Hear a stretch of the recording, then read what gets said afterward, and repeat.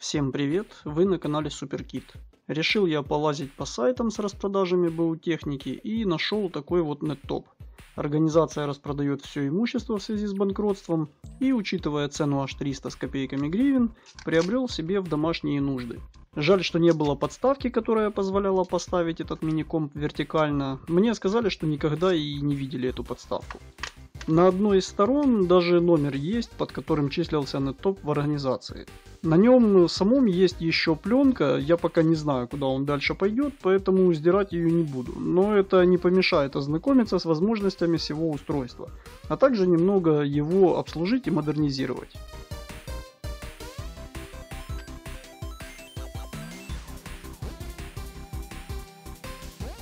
Зная модель проца и фирму производителя, я нашел в гугле описание с общими характеристиками, из которого видно, что проц здесь Intel Atom D510, это двухъядерный четырехпоточный процессор с частотой 1,66 ГГц. Конкретно у меня винт оказался на 160 ГБ и AZU 1 ГБ DDR2, а также с VGA портом, а не DVI, как на фото в описании которое я нашел в инете. На неттопе есть 6 портов USB, что точно пригодится. 1 гигабитный LAN порт и разъемы под наушники, динамики, микрофон.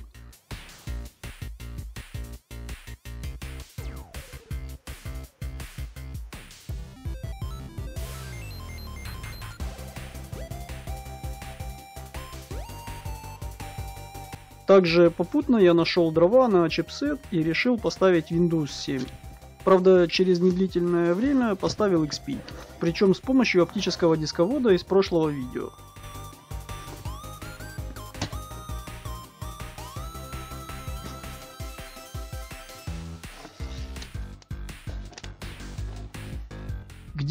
Неттоп и в каких условиях хранился, непонятно, поэтому я решил заменить термопасту, тем более, что ее теперь у меня много осталось после покупки проца FX8350, и после посмотреть, что это дало, сравнив температуру под нагрузками до и после. Кстати, винт включался всего несколько раз, зато почасовая наработка у него оказалась аж 17 тысяч часов.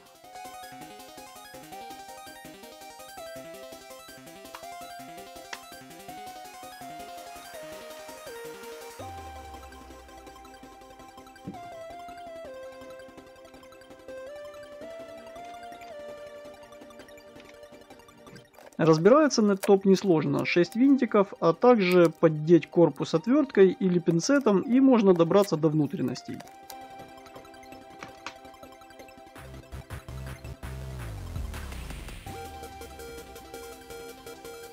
Как видно, память и винт на пломбах, то есть их не меняли перед продажей мне. Собственно, модернизация будет заключаться замена АЗУ на планку в 2 гигабайта, поскольку 1 гигабайт это совсем тускло. Снятие крышки позволяет добраться и до системы охлаждения, и до винта, и до оперативки. Это очень удобно и хорошо, так как в некоторых ноутбуках такой бред придумывают, что до винта порой можно добраться только после полного разбора. Ну а здесь вот такой вот радиатор и такая система охлаждения, у которой есть тепловая медная трубка. Сам радиатор покрывает чипсет и процессор. Проц распаян на плате, заменить его нельзя. Хотя, может, конечно, и можно выпаять и припаять другую, но это не вариант. Вентилятор четырехпиновый, обороты такого вентилятора вроде как могут достигать до 6500 оборотов в минуту, что достаточно сильно шумно, как по мне. Его обороты регулирует материнская плата, исходя из температуры процессора, который, к слову, имеет ТДП 13 Вт. Хоть относительно стационарных процов это и немного, но и радиатор здесь просто никакой. Просто тонкая пластинка с минимальным размером ребра, мне вот интересно всегда было узнать у производителей, в чем прикол гонки за минимальностью толщины. Как будто здесь 3-5 мм дополнительной толщины корпуса, но при этом нормальный радиатор сделали бы хуже. А так вот и имеем температуру под 70 градусов в подобных устройствах. Хорошо хоть заявленная максимальная температура проца 100 градусов. Но все равно это не дело, потому что вентилятор работает быстрее, а как результат шумнее. Я не люблю такие конструкции. Походу здесь использовалась термопрокладка. У радиатора есть метки, где будут чипы, но мне удобнее точно видеть, что термопаста легла на поверхность проца и чипсета. Поэтому я намажу их полностью, а потом уберу лишнее.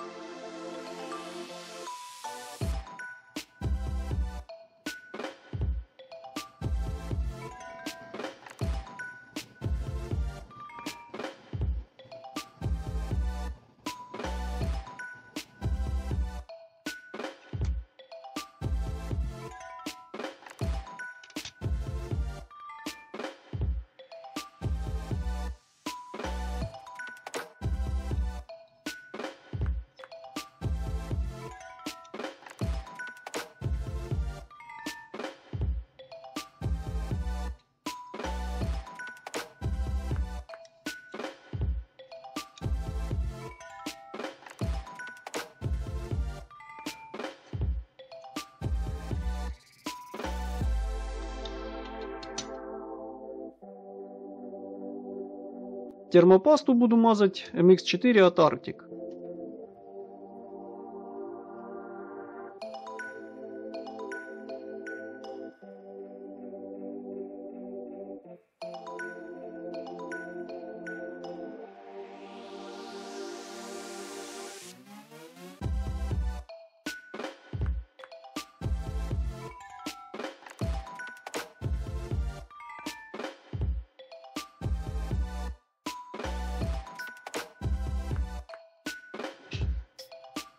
Пастой закончили. Радиатор крепится на четырех винтиках, которые имеют нумерацию порядка закручивания этих винтиков.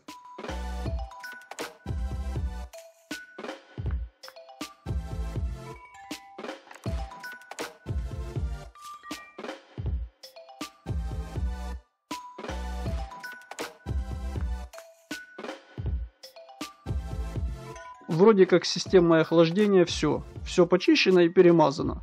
Чуть позже посмотрим, насколько это помогло. Скажу сразу, что в BIOS нет возможности отключить двухпоточность ядра. Да и вообще в управлении центральным процессором в BIOS все отображается неактивным серым цветом. То есть посмотреть можно, а поменять нет.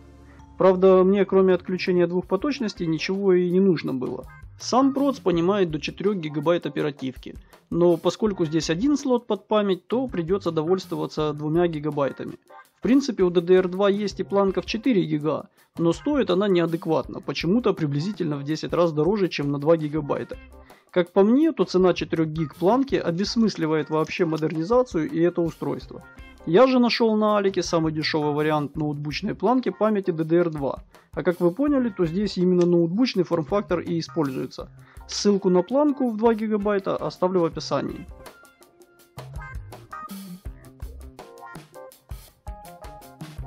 Касательно памяти, которую я купил, то, как я понял из описания, это БУ брендовая протестированная память, которую после разборки отслуживших устройств продают под китайским брендом. Мне досталась планка с чипами Unix.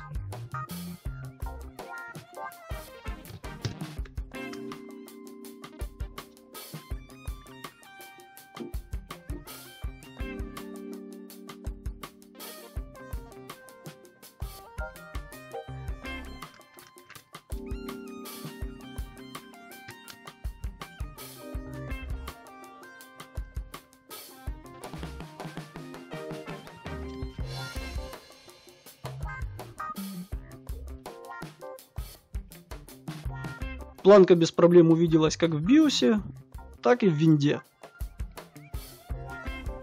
Также расширю возможность неттопа за счет подключения китайской беспроводной USB сетевой карты, которая выполнена в форм-факторе заглушки USB порта. Тест на скорость данной Wi-Fi есть в отдельном видео на моем канале.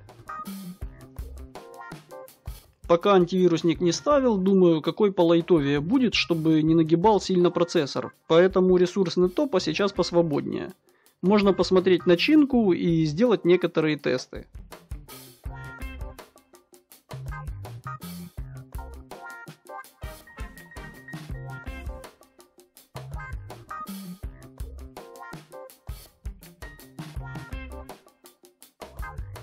Также стресс-тест нагрузкой проца на систему охлаждения. Сначала с открытой крышкой неттопа.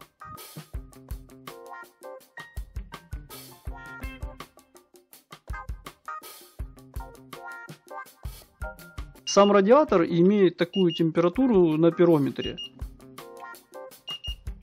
А самая горячая точка на оперативке. Видимо, она нагревается, так как находится близко, а остыть так не успевает, так как на ней нет радиатора. Но не думаю, что это высокая для АЗУ температура.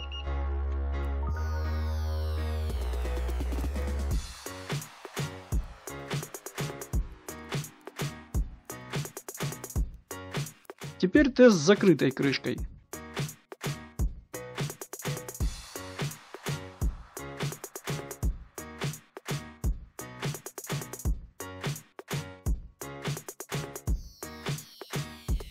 Ну и теперь, насколько лечебная оказалась моя термопаста, можно посмотреть сейчас. Сейчас запущен есть стрим и просто футбольный матч, который, как видно, даже и близко не грузит проц на 100%. Но даже при такой загрузке ниже 50% температура проца была почти 70 градусов, а чипсета 50 градусов. YouTube это одно из главных источников видеотрафика, поэтому оценивая возможности медиакомпа, роль которого я хочу приписать этому неттопу, невозможно пройти мимо такого сервиса как YouTube. Для теста запустил видео 30 кадров 720p и смотрим как оно идет. Прод занят приблизительно на 50% и видео идет плавно, без рывков и заиканий.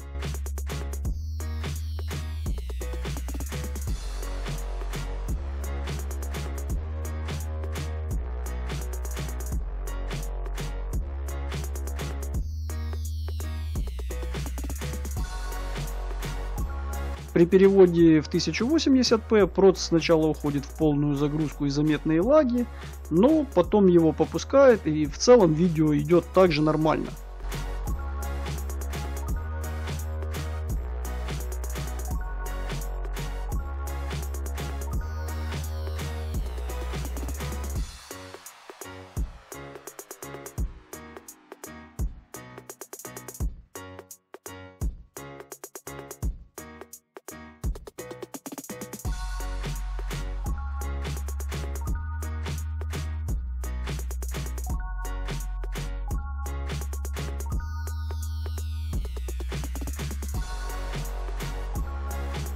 Кроме запуска на YouTube, я запустил исходное видео обзора винта Toshiba на 1 терабайт, которое я и заливал.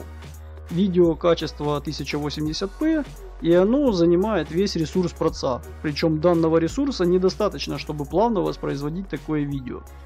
Конечно, можно поискать другой плеер, и возможно здесь не достает всего процентов 10 ресурса для беспроблемного воспроизведения. Но сейчас я лишь показываю оценку, сколько ресурса приблизительно требует та или иная задача поэтому заниматься тестами плееров не буду.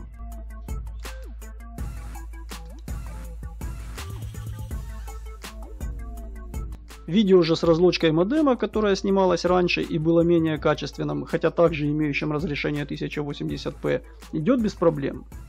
Полагаю, что видео 720p будет идти без напрягов, поэтому для просмотра офлайнового видео, пусть и не любого, этот нетоп тоже сгодится. Ради интереса я даже решил запустить CS 1.6. И в принципе игра без добавления ботов идет более чем плавно.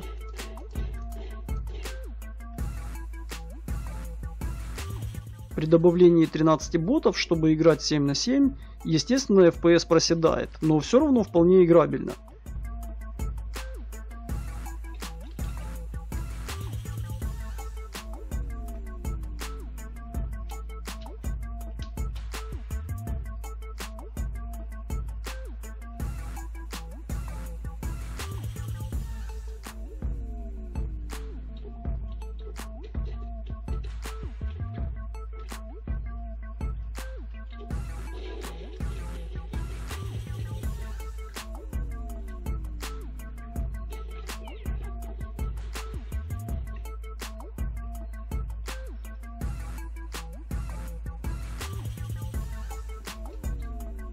Как видно, температура как каждого из ядер, так и общая около 45-50 градусов.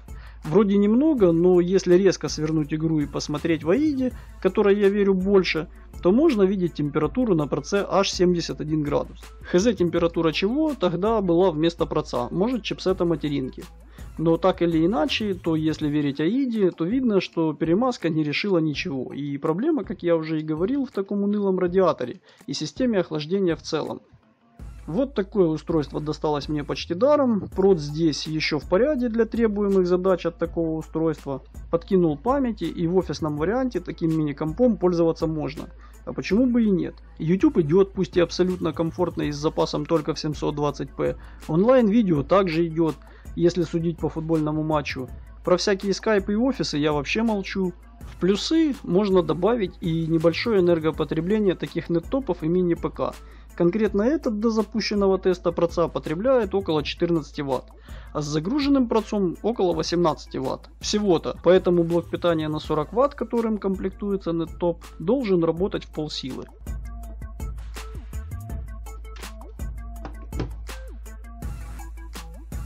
Что касается высоких температур проца, это результат размеров корпуса и физику не обманешь. Был бы здесь такой радиатор, был бы совсем другой результат. Кстати, в заводском исполнении это можно было бы очень красиво подать, и закрепленный к плате или к противоположной стороне корпуса радиатор мог бы через отверстие в корпусе выглядывать наружу. Выглядело бы это достаточно красиво, при этом не нарушало бы концепции толщины неттопа, а самое главное эффективность и полная тишина, так как такой радиатор по своим свойствам лучше, чем то, что здесь установлено, несмотря даже на вентилятор. Но, видимо, производители таких устройств не заинтересованы в комнатной температуре процессора, а похоже наоборот, хотят, чтобы он был горячим, разрушаясь из-за этого. Ведь вы же понимаете, что при стабильных 70 градусах, а то и выше, процессор работать будет, но почему-то я уверен, что меньше по времени, чем мог бы. Как можно использовать такое устройство в весьма нужных и жизненных случаях, я расскажу в отдельном видео чуть позже, где-то через пару видео. Ссылки на полезности в описании, оценивайте видео, подписывайтесь на канал, обязательно будут еще видео о разных девайсах. Если есть вопросы, можете задавать их в комментариях, постараюсь ответить на них. Всем спасибо и до новых встреч.